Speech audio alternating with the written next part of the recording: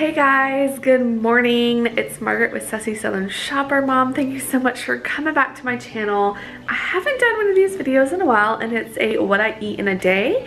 And I'm actually gonna show you what I'm eating today. So this morning, and this is my typical morning thing that I do, I get a Premier Protein and I just pour it over some ice and that is my breakfast first thing in the morning, which I'm recording this at 8.24. I actually got up at 6 o'clock, got the kids to school, and I drink this right before we leave. And I haven't had anything since then. So this is my breakfast for this morning that I already had and I'll come back and show you what I eat for lunch later. Okay, so I'm getting ready to go on a walk with my neighbor. So I'm gonna eat just a little Sargento Colby Jack cheese for a little snack real quick and then I'll be heading out for a walk. Okay guys, so today's a half day for my kids and I'm gonna show you what I'm gonna have for lunch.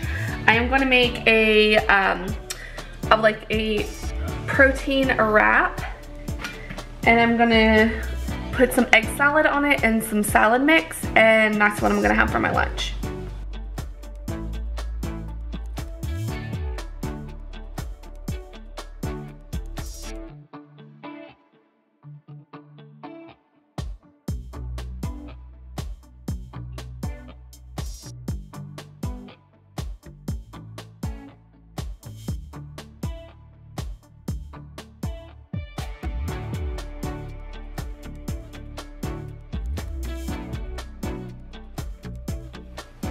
And this is lunch.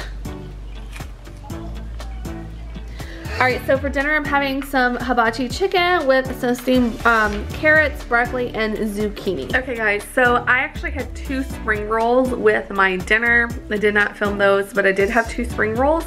And then I took a bite of cheesecake, but it wasn't that great, so of course I did not even get a whole slice. But I hope that you like this um, what I eat in a day video. If you do, give it a thumbs up and I'll see you in the next one. Bye guys.